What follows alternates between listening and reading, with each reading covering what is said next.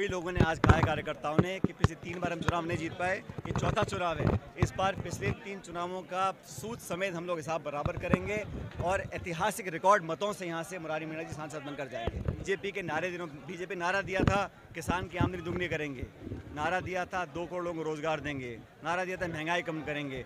सारे नारे फेल हो गए, ये वाला भी फेल होगा। और मुझे लगता है राजस्थान में लोग बदलाव चाहते हैं। दो बार यहाँ से 25 के 25 सांसद भाजपा के जीते थे।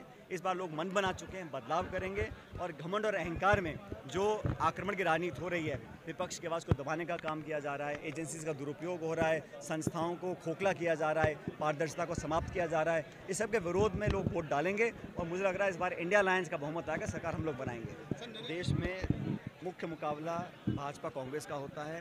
इस बार भी ऐसा ही होगा और जहाँ जहाँ हमारे उम्मीदवार उतरे, पच्चीस जगह में हम समर्थन भी कर रहे हैं, इंडिया लाइन्स और कांग्रेस को उम्मीदवार जीत कर जाएँगे। पार्टी ऐतिहासिक मतों से जीतेगी।